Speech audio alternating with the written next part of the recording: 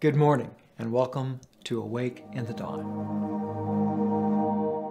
It's interesting in the Word of God that the word shepherd is referred to so much in relation to uh, God wanting to care for us as His sons and daughters.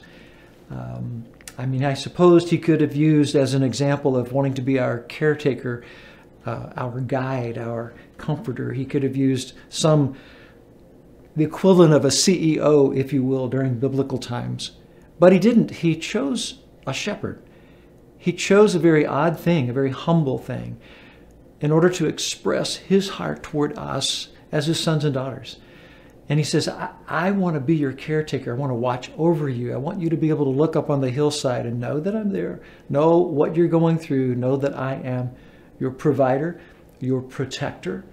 Uh, I want to be the shepherd of your heart. I want to be the shepherd of your soul. Jesus says. And there is no personality, there is no system or organization from the world that can get anywhere close to caring for your heart and your soul and your mind like your great shepherd, Jesus Christ. Let him shepherd your heart.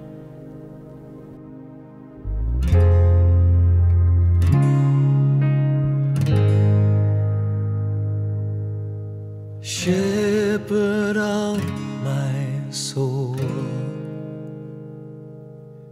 You're the lover of my heart.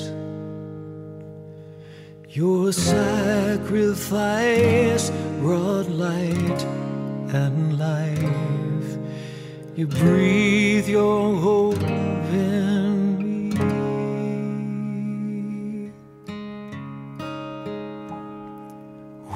this bread and cup, I will honor you and give thanks with all my heart.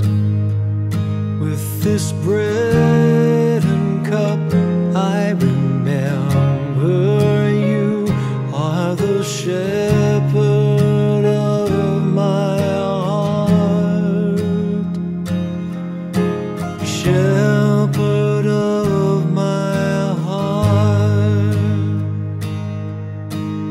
Savior of my soul. You're the righteousness in me. Your flawless love, redeeming grace. Don't